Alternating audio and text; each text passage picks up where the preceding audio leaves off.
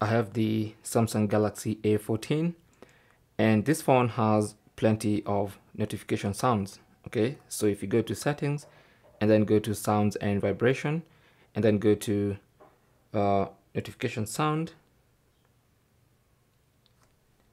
if you have dual sim you can choose for either sim card and then you have all these.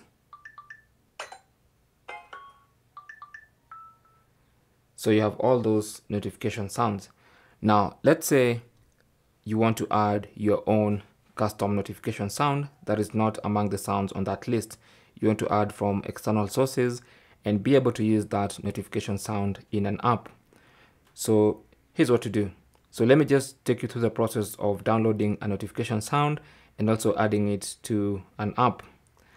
So for me, I'll just go to the browser and find a suitable website where I can download notification sounds. Uh, personally, I like Pixabay. So you can choose from any website. You can download from anywhere you want. I'm not recommending this.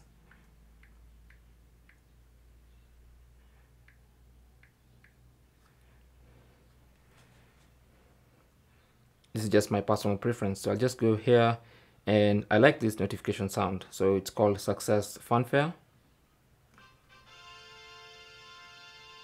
there you go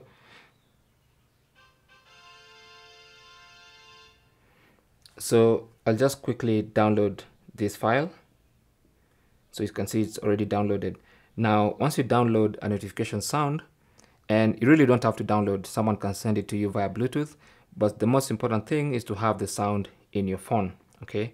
So the sound is now available in my files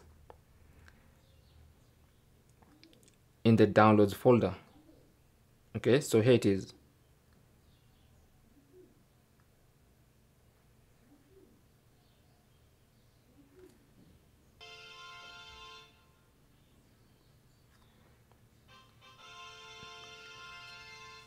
so that's the sound. So now even though it's downloaded I will not be able to find it in the list of notification sounds. To be able to find it all I need to do is long press on this file and then select copy.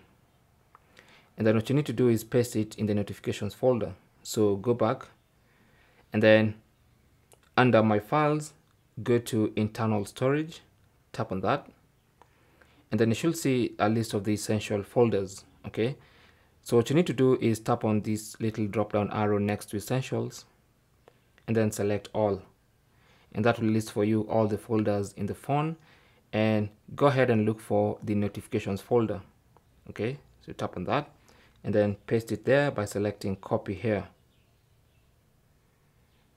And now that file is available inside the notifications folder. It's called success fanfare. So now you can actually go to settings and then go to sounds and vibration and then go to notification sound. Eh, choose either sim card. And this time you should find that notification sound among this list okay? So here it is. Success fanfare we can play it so now with this notification sound being available here you can, you can actually go ahead and use it in an app. So let's say we want to use it in an app like uh, Facebook, for instance, okay? So what you need to do is go to settings and then go to notifications and then go to app notifications and then look for Facebook. Did I miss Facebook?